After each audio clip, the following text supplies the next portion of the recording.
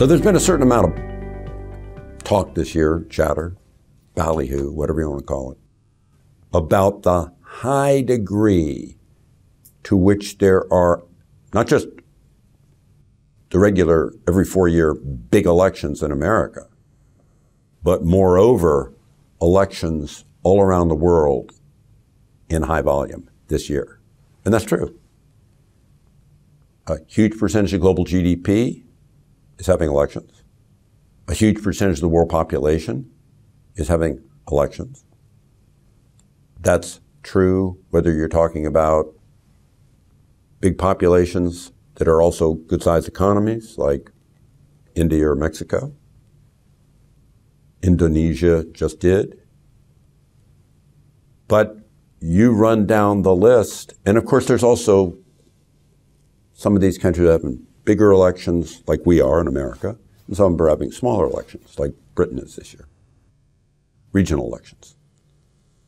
But in all of this, there's an overarching trend that has some exceptions that I believe is actually quite bullish.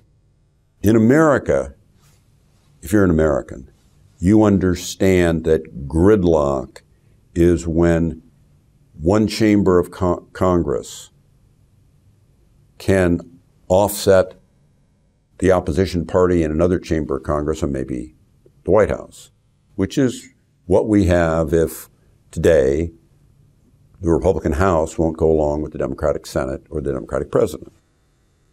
And what gridlock creates is low levels of legislation passed and signed by the president.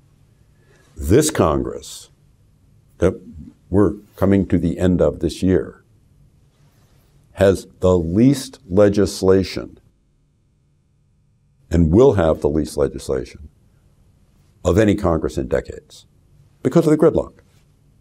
Because you can't get the Republicans and the Democrats to agree on very much. Overseas, not completely, but mostly, you have parliamentary type formats of elections with multiple parties instead of the two party system. And it's harder for people to understand, even country to country, where the systems are slightly different, that those parliamentary systems can also have a different form of gridlock. And this is where no one party or group of parties with somewhat common ideologies can get enough of the vote to form a government that they control.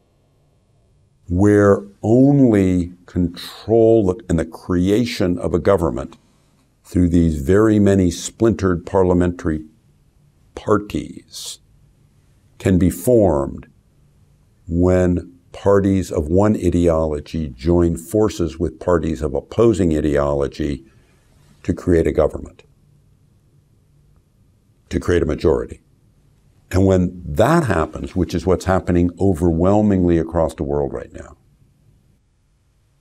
a flat profile in the election and a coalition being built out of folks who oppose each other, you get governments that are parliamentary forms of gridlock, and not much gets done. Now, wh- why do markets like that? Well, said simply, in worlds of capitalism, capitalism is really good at moving forward and creating progress, innovation, and growth when rules are like fences that don't move. And they can figure out how to get in, get out, get around, and move forward. Changing rules are a little bit like trying to go through a maze where the maze keeps moving around and that's much tougher for capitalism. So markets reflect that as they see gridlock building, and the American gridlock is an easier form, particularly for Americans to see.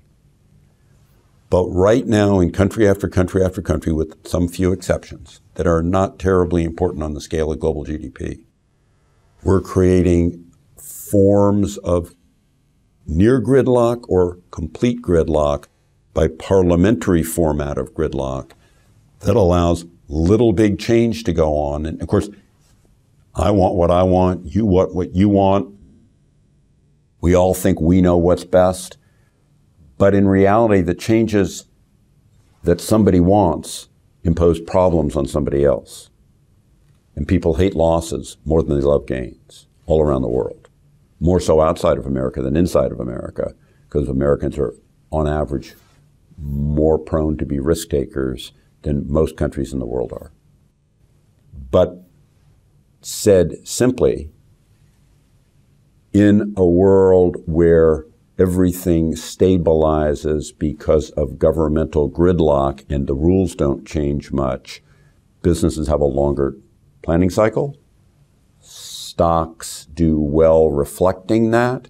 It's a bullish feature, and the focus of elections around the world this year is a contributor toward the global bull market that's going on that I've been talking about for quite some time.